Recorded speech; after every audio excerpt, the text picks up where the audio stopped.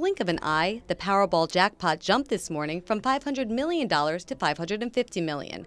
A lucky winner tonight could take home a cash option of approximately $360 million. Oh, this just is wonderful. I mean, because all these increases in sales just mean more revenue for our retailers, more prizes for our players, more revenue for the state. This is just fantastic news. Very exciting. Uh, the impact in New Jersey is tremendous. We've sold in New Jersey alone close to $60 million in Powerball sales. And from that, we will have nearly 30 million in state revenue. We'll have over 3 million in uh, retailer commissions that have been earned already.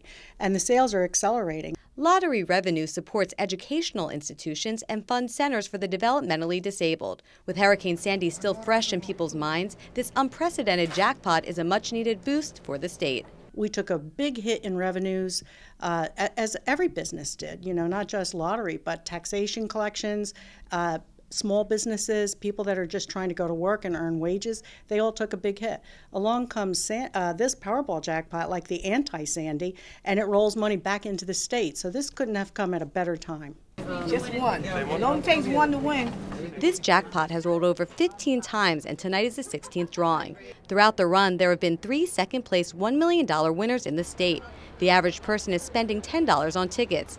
Even though the odds of winning are 1 in 175 million, there are no shortage of hopeful players. I have dreams and I want to win the big jackpot. And I think this is a very lucky place. I come here every day to buy my tickets. This is my first time getting it, and I'm excited because this can help me a lot with school, and I can finish and I can become a communications major. Well, I've bought some before. My husband has some, and so I have a couple dollars left. I figured why not put it toward a potential win. As of this morning, 2,400 Powerball tickets are being sold every minute in New Jersey, and that number is expected to increase throughout the day.